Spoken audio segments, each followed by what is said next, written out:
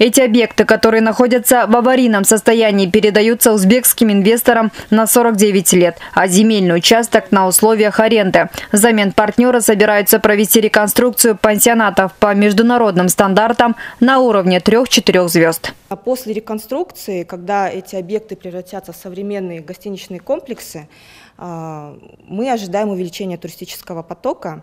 Это будут не только соседи из Узбекистана, да, это будут также отдыхающие из соседних республик, из дальнего зарубежья. Мы ожидаем ориентировочно налоговые поступления в размере 120-130 миллионов сомов в год. В-третьих, это рабочие места.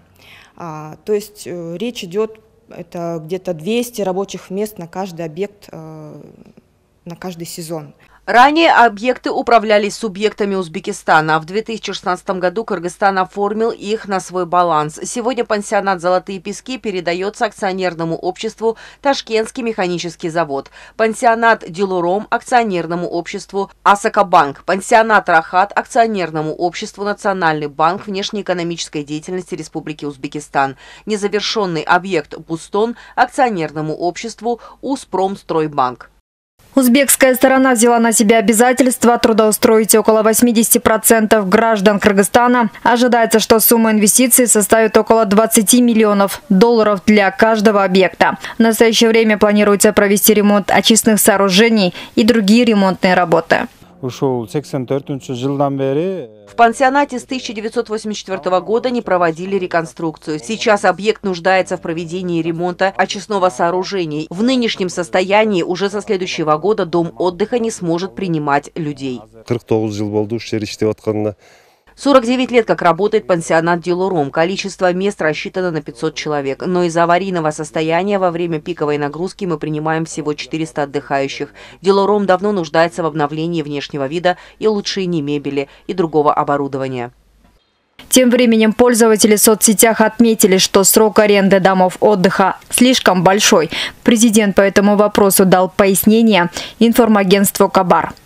По четырем пансионатам скажу следующее. В 2016 году Тимир Сариев, будучи на посту премьер-министра, отобрал их, что больше походило на популизм. Скажу честно, тогда надо было изучить архивные документы и поразмыслить над будущим этих объектов. Если бы были гарантии тому, что мы таким действием не проиграем в международном суде, то оно было бы уместно. В том же году узбекская сторона обратилась в Международный суд в Вашингтоне и потребовала возместить ущерб в 65 миллионов долларов. В 2017 году Сапар Сапар Исаков направил письмо узбекской стороне, в котором было предложено решить вопрос мирно и проработать возвращение четырех пансионатов узбекской стороне.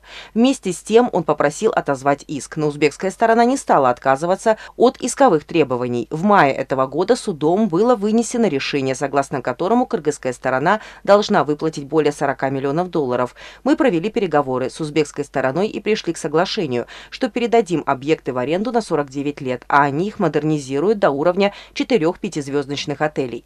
Выплатить им предъявленную сумму у нас возможности нет. Состояние этих пансионатов сегодня оставляет желать лучшего. Они настолько обветшали, что их можно назвать уже сараем. Сами мы не сможем в ближайшие 15-20 лет инвестировать в их модернизацию, потому что у нас полно других критичных пробелов. Пока их не залатаем, о пансионатах не может быть и речи. Если продать эти четыре пансионата, то их даже за 4 миллиона долларов никто не купит, не говоря уже о 40 миллионах. Ну а утверждать, что можно было бы сдать в аренду на 5-10 лет, это невежество, потому что только строительство четырех пятизвездочных отелей займет эти 5-10 лет. Поэтому ни одно государство не согласится вложить столько денег, не имея гарантий, что окупит свои инвестиции. Тех, кто трубит о том, что отдали Кемпирабад, можно назвать невеждами. Кемпирабад никому не отдавали, наоборот получили. Мы заключили соглашение об управлении им на равных правах и забрали себе 50%. Раньше к нему не подпускали спускали даже на 50 метров. Не правда ли? Мы готовы ответить, не краснее, за каждое наше решение и дело даже через 50 лет. Наша работа целиком и полностью делается во благо народа. Поэтому прошу вас не обращать внимания на информацию некоторых сайтов, которые стремятся вызвать резонанс по какому-либо делу. Ежегодное количество туристов на Иссыкуле растет. Отмечается, что только в прошлом году жемчужину страны посетило более 1 миллиона отдыхающих. Передача убыточных пансионатов узбекским коллегам повысит налоговые поступления, создадут дополнительные рабочие места, увеличит туристический поток и улучшит качество сферы обслуживания. Айгерим Бараканова, Оскар Маратов, ЛТР, Исыкульская область.